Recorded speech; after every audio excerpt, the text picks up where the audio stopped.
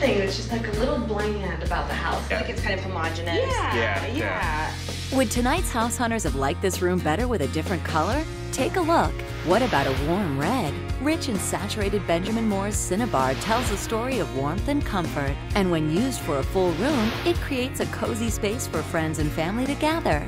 Stay tuned to the rest of House Hunters to see which house gets picked and see all the different ways to transform your space at benjaminmoore.com/transform.